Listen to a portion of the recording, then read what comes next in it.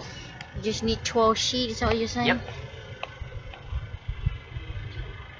12 sheets and I cut them down to 9 foot. Is less than 4 hours work. Mm-hmm. From start to finish and getting up there. Yep. That's not including prep time. Okay.